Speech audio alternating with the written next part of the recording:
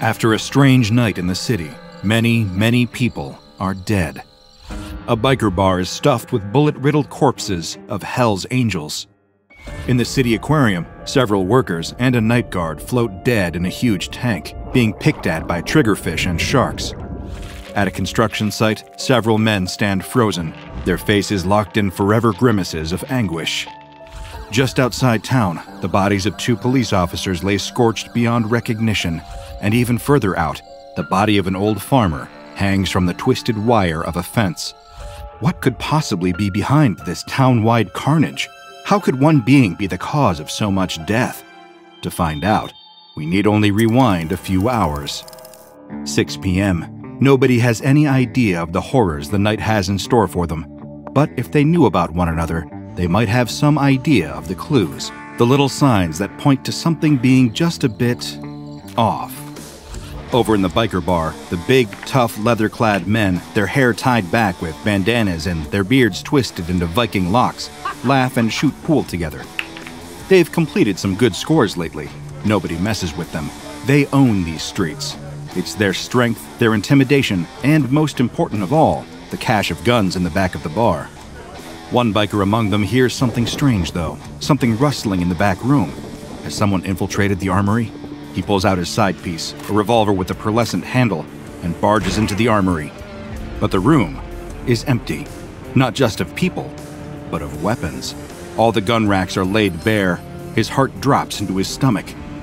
Seconds later, he's running back into the bar, demanding that the music be shut off. He sounds the alarm, and bikers start scrambling, as though the missing guns might be hiding under the tables. Little do they know that the truth is far, far stranger. Over at the city aquarium, they're wrapping up for the day, seeing off their remaining few customers. Janitors are starting their nightly rounds as night guards suit up and prep for patrol. One more marine biologist who works full time studying the aquarium's many creatures isn't quite ready to go home for the night. She's made herself a new pot of coffee and is on her way to the octopus tank, containing several of the hyper intelligent, mysterious mollusks. But when she arrives, she sees a startling sight. All the octopi are gone. Shocked and horrified, she calls over some janitors and a night guard. There are a few other possibilities. Either these slimy escape artists had figured out a way to get out and slither away, or someone had stolen them. She's in a full panic now. These octopi are vital to her research, but when the others arrive, there's no trace of the creatures. There is, however, a strange pair of tiny, wet footsteps heading towards the tank. Before any of them can react to that, they hear a wet slapping sound behind them. Over at a construction site, work is just ramping up. Plans are being drawn up for the night's work, and construction equipment is being vanned in. The foreman of the construction site is pleased with how everything is progressing, and if everyone does their job right, they'll have all their work completed on schedule. He lives in this state of blissful optimism until one of his workers runs over to him in a panic. Someone has stolen four bags of cement. The exact four bags of cement they need for setting the foundation. As the foreman calls the company manager to profusely apologize for the delays, the construction workers scramble around the site, looking anywhere they can for the four bags. It's not uncommon for equipment to get stolen from construction sites, but bags of cement? That's strange. Though not nearly as strange as the creature approaching the foreman, step by careful step, its hard gray skin scratching against itself. Meanwhile, a pair of police officers in a squad car receive a call over the radio. There are reports of a break in at a nuclear graveyard across town. A large stone dome covering up a mess of radioactive material from when the city used to have a nuclear power plant. Someone tripped the alarm on the perimeter gate, and someone needs to get there and apprehend the intruder before they do something they seriously regret. The officers arrive not so long after and see a hole cut into the fence, but the hole is weirdly low and small. Was the person who broke in a small child? That's even more reason to hurry. The two officers pull out their flashlights and head up to the gate, opening it and walking through. Just as they're starting to wonder whether they should have brought some kind of radiation guard, they feel a strange, warm sensation on their skin, like a tanning bed, like blistering sunlight in the middle of the night. They turn and try to see what's walking towards them. The air seems to distort and wobble, even in the dark. Then there's a flash of bright, eye searing light, and both the officers scream. On a farm nestled in the sticks outside the town, an old farmer is carrying out his twilight rounds. He's hammering in fence posts, making sure the sheep, cows, and chickens are fenced off.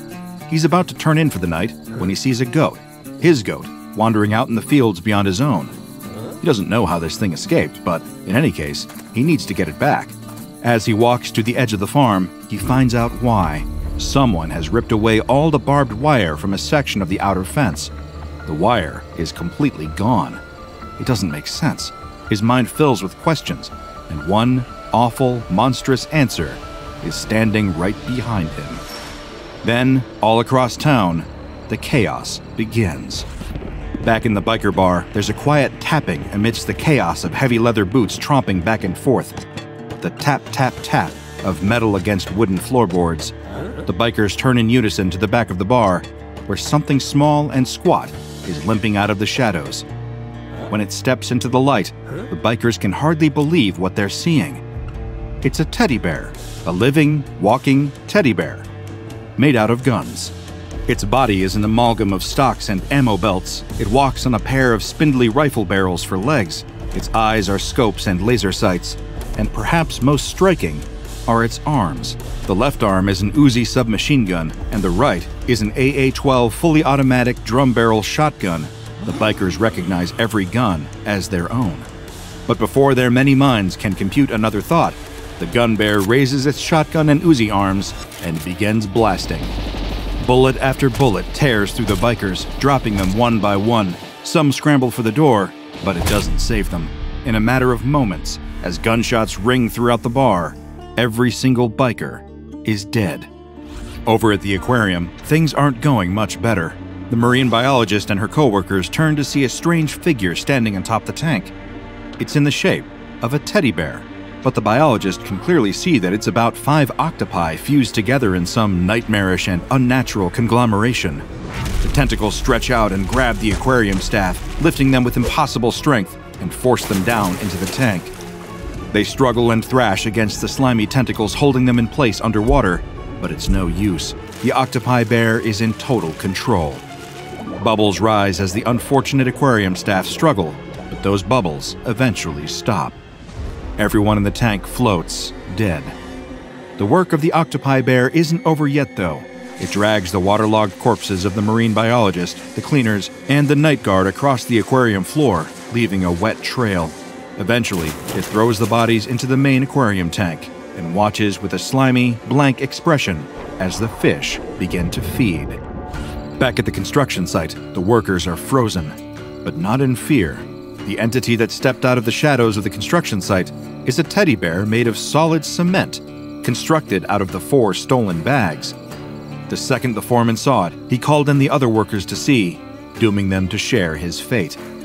As some of them reach into their jackets to grab phones, eager to take photos, just to see if this truly is happening, the cement teddy bear screams. It's an awful sound, the screech of metal on metal, like a broken cement mixer spinning off kilter and threatening to explode.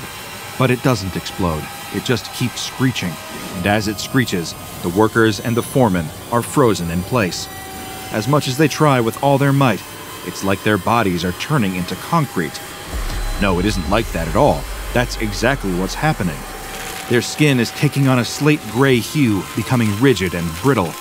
Little by little, their bodies freeze and harden. Their eyes go after all the rest as they watch themselves becoming living statues trapped forever in the shell of their own bodies. The cement teddy bear walks among them, and it begins to dance.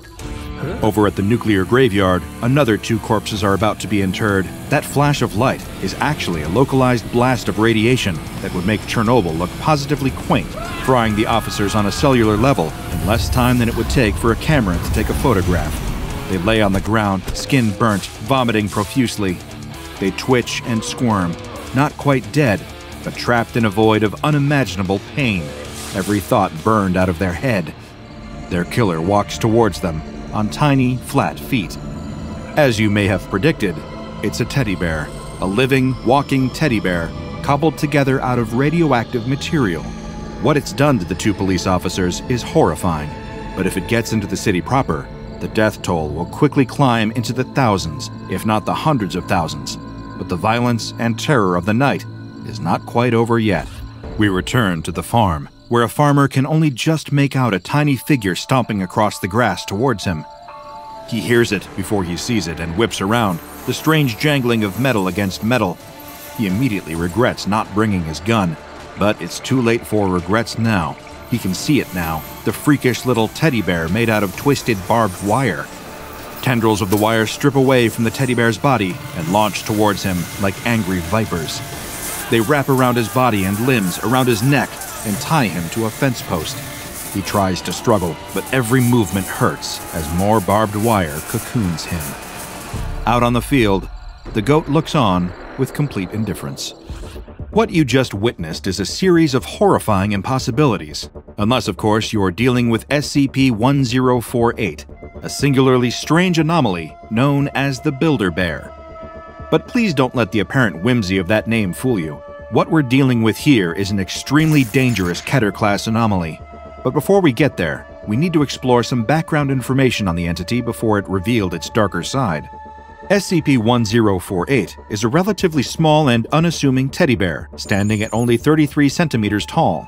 Researchers have studied the materials and composition behind the Builder Bear and found that nothing about it is inherently anomalous. But despite this, the bear appears to be fully sapient and capable of moving of its own accord, while it is incapable of speech, it can communicate through some small gestures, all of which are extremely sweet and affectionate. Yes, you heard that correctly. One of the most surprising things about SCP 1048, if you're only familiar with it by reputation, is the fact that most people who directly encounter it find it endearing and even adorable. It shows affection to human subjects by hugging their lower leg, dancing, jumping in place, and even drawing childlike crayon pictures for Foundation janitorial staff.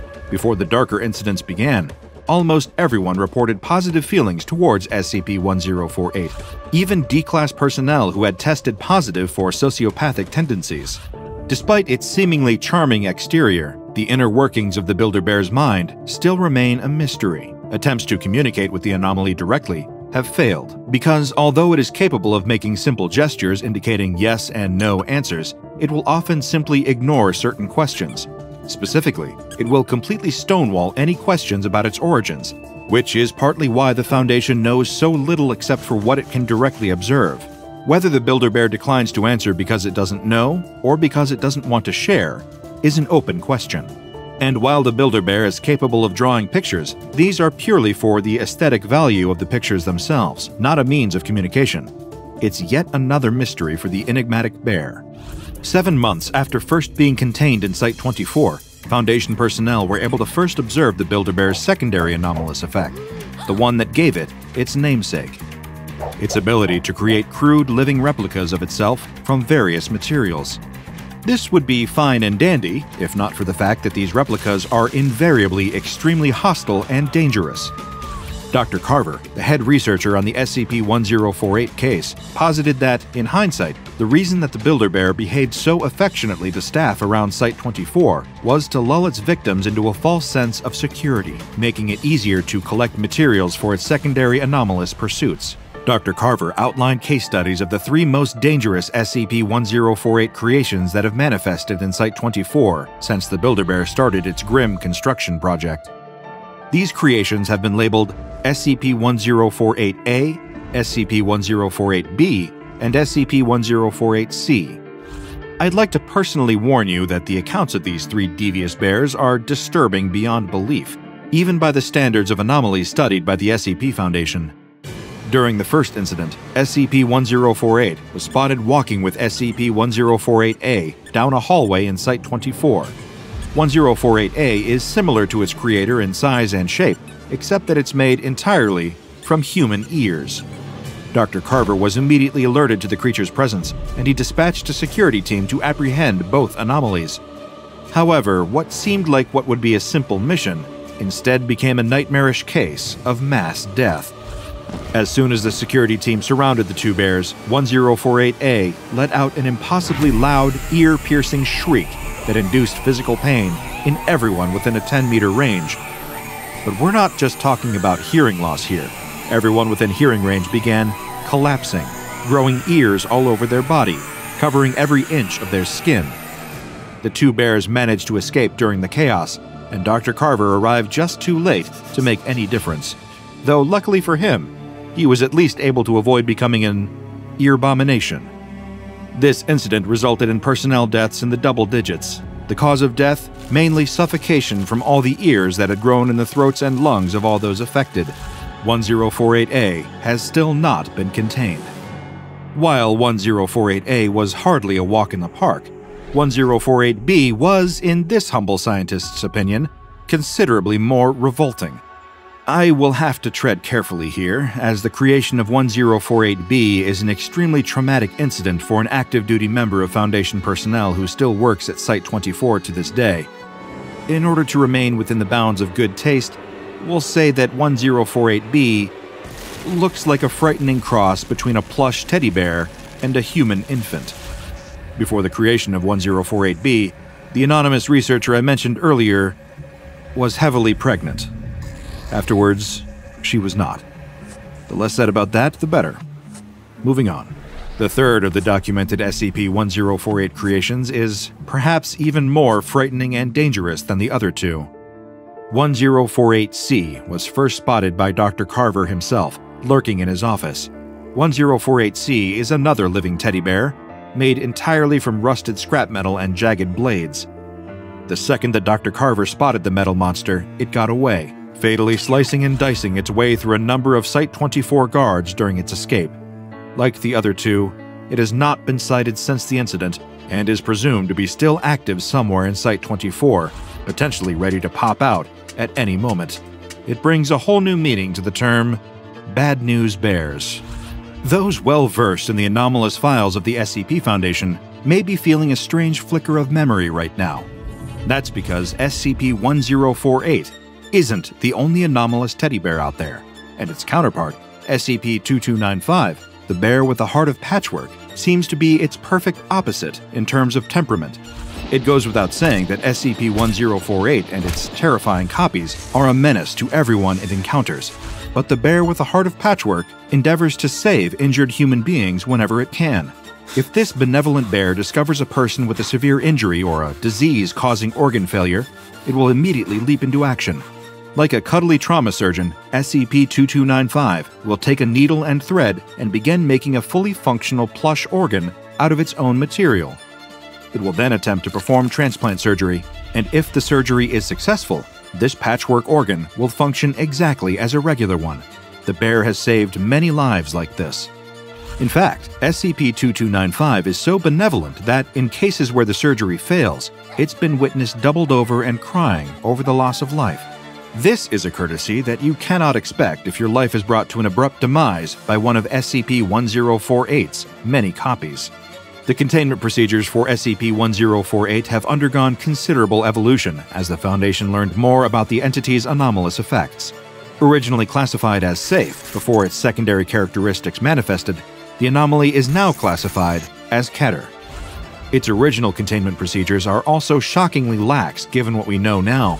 1048 was given free rein to wander around Site 24 and interact with personnel to its heart's content, a policy that we now know had terrible consequences. Technically speaking, SCP 1048 isn't contained. Many believe that it still lurks somewhere inside Site 24, though nobody can know this for sure. The orders for all active Foundation personnel is to apprehend SCP 1048 on site and to immediately destroy any of its deadly creations with extreme prejudice. The dangers posed by SCP 1048 are so great that even non anomalous teddy bears are banned from Site 24 to prevent any potential confusion. Any object resembling a bear is to be reported to the site security team to avoid a potential mass casualty event. Dr. Carver appended a note to SCP 1048's containment procedures saying, This is not a joke. We have no idea what SCP 1048's full capabilities are. Who knows how many of the damn things are out there by now?